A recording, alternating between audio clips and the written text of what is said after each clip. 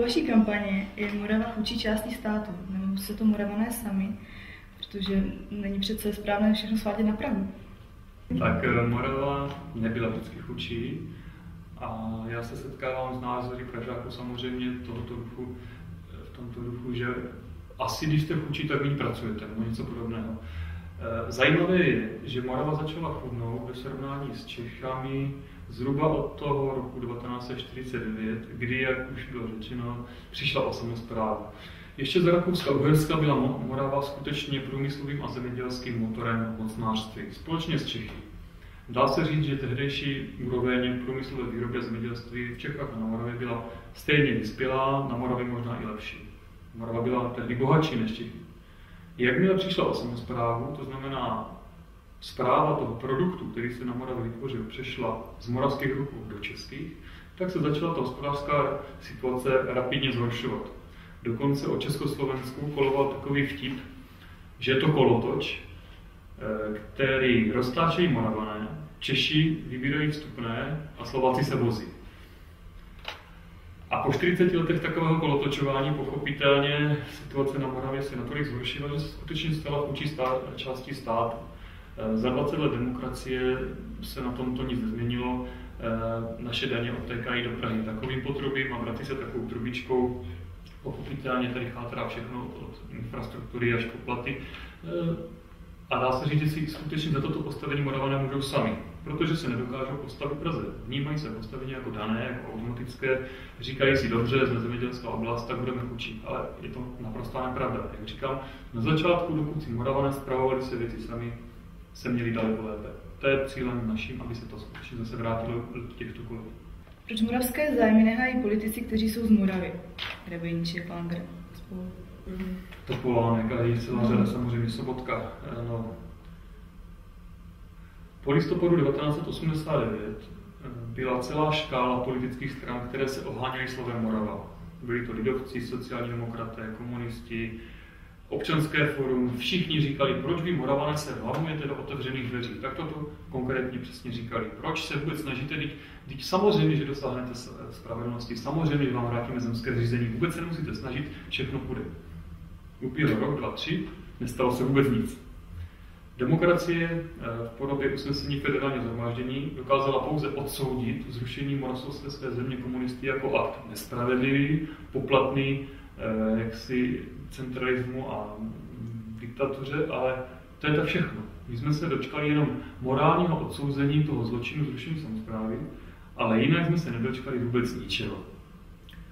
Všechny strany postupně svou retoriku vůči Moravě opustili, naprosto mě zapomněli, zrušili dokonce i zemské členění svých vlastních organizací, jako třeba lidovci, a dnes eh, se na moravské téma absolutně nevyjadřují. Jediný, kdo tady hájí moravské zájmy, jsme my.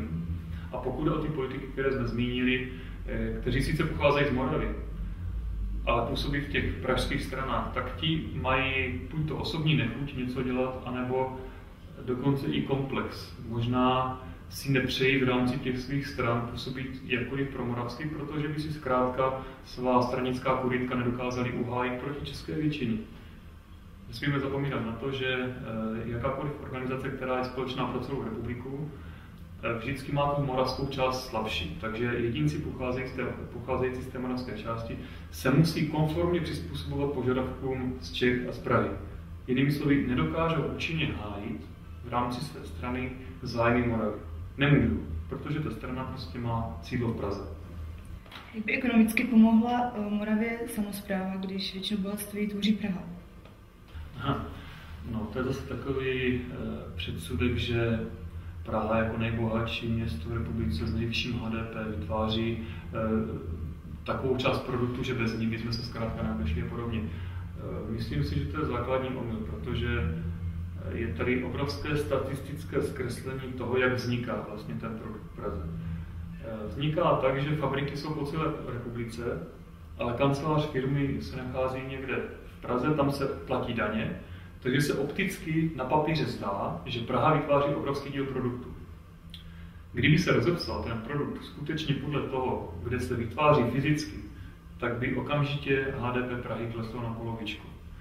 Když odpočítáme manažerské platy, které se zase fyzicky nacházejí v Praze, tam se, tam se tam nacházejí ti lidé, kteří ty platy berou, tam se utrácí ty jednotlivé platy. Kdyby toto se všechno rozpustilo, zase se ta Praha e, ztratí a není pravda, že vytváří nějaký významný podíl HDP. Myslím si, že bez Prahy by nám bylo daleko lépe, protože naopak Praha nejenom, že nevytváří většině produktu, ona naopak víc spotřebovala.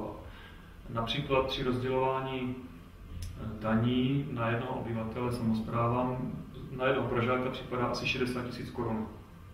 Malá dědina, která má tisíc obyvatel, dostane 4, 4 tisíce. Potom, když se to spočítá, kolik má Praha, kolik mají malé samozprávy, tak je jasné, že v Praze se de facto pro stejný počet obyvatel utrácí mnohonásobně víc eh, než pro jiné lidi. A de facto my na Prahu doplácíme. My, kteří jsme chudší, přispíváme na lepší budování matičky Prahy, která už teď je bohatší. To jsou ty paradoxy.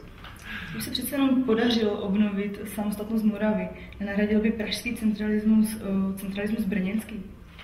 Zase námitka, s kterou se občas setkáváme. Eh, já si myslím, že to je taková falešná vlajka, tak se tomu říká ve vojenské terminologii. Zamává se standardou, která naznačuje nebezpečí, které neexistuje. To, že pragocentrismus existuje, to je naprosto zjevné a každý to ví. Ale odbíhat od tohoto tématu tím, že se začne varovat před hypotetickým nebezpečím něčeho, co vůbec neexistuje, to je strašně nefér. Pokud by se měl pražský centralismus nahradit brněnským centralismem, tak si pochopitelně vůbec nepomůžeme. To bychom nemuseli naši politiku vůbec dělat. Ale o to tady vůbec nejde. Nám nejde o to překopírovat ten český systém moravských poměrů a mě tady zase jedno mocné hlavní centrum, které bude zpravovat všechno a všechny pozadovat. Nám jde o to, aby se obnovil skutečný model samozprávy na všech úrovních. Samozpráva to jsou peníze, nejenom kompetence, ale i peníze. To znamená, chceme, aby se nerozdělovalo v centru 90% prostředků, tak jak je to dnes, ale aby v centru zůstalo třeba nějakých 30%, 40% aby měli obecně městské samozprávy a zbytek nějaká úroveň mezi tím okresy nebo země. Protože ten, kdo má peníze, ten má i samozprávu. Takže v tom modelu, který my nabízíme, bude existovat opravdu skutečná samozpráva na lokální úrovni. Žádné centralistické tendence.